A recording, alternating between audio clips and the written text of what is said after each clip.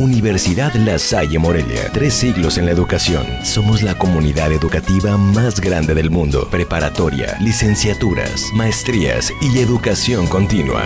La Salle, profesionales con valor.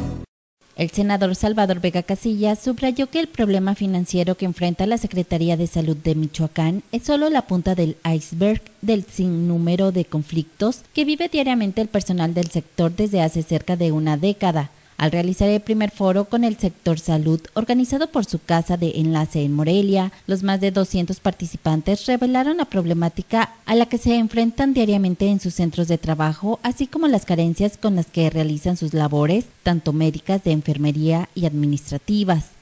Representantes de los nosocomios públicos como el Hospital de la Mujer, el Infantil, el Centro de Salud Urbano de Morelia y otros del interior del estado dijeron estar cansados del constante desabasto de medicamentos situación que los ha llevado incluso a hacer cooperacha para comprar desde gases hasta suero para los pacientes y pañales para los recién nacidos. Luego de reconocer la labor que realizan los médicos, Salvador Vega Casillas dijo que Acción Nacional trabaja una plataforma política para mejorar las cosas y dar un nuevo rumbo al Estado.